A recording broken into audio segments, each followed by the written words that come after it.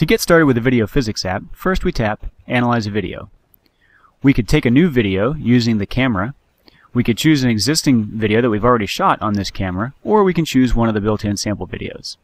In this case, we'll choose the basketball shot. Text is already on the screen to show you what to do next. We'll dismiss that and play the video once just to show you what it's about. As you can see here, it's a local physics teacher showing his prowess at basketball. So to advance it to the frame where the physics first get in, gets interesting, we can tap to rewind, or use the scrubber bar if we like to go to a matching frame. Once we're on the first frame where the ball is in free throw, we can start to collect data.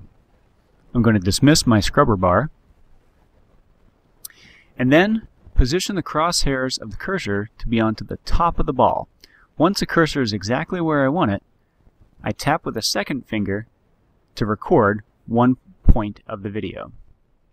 Next, I reposition the cursor to be on the top of the ball again, and again when I tap with the second finger, it automatically records the X and the Y position of the center of the crosshairs.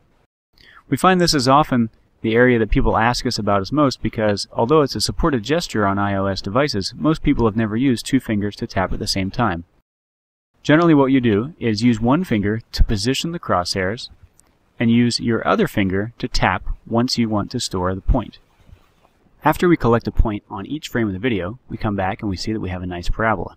To advance to individual frames, tap anywhere near the bottom of the screen to return the scrubber, and then you can tap and go frame to frame to frame again, or again, just tap and drag to advance to the frame of interest. To see graphs of the motion, just tap the graph button and you can instantly see graphs of the Y position versus the X position.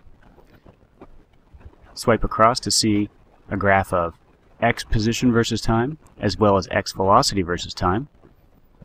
And swipe to the third to see Y position versus time and Y velocity versus time. To return to your video, tap the video icon. Now that you have your data, you can bring up the toolbar, press the Export button, and you can directly share the file to Facebook, which renders both the video and the graphs.